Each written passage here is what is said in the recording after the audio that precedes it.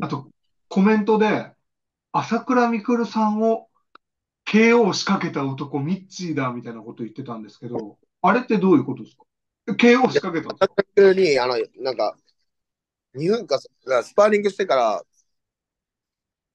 なんか時間が、その時間ギリギリ前、残っとったっけ、仕事っす。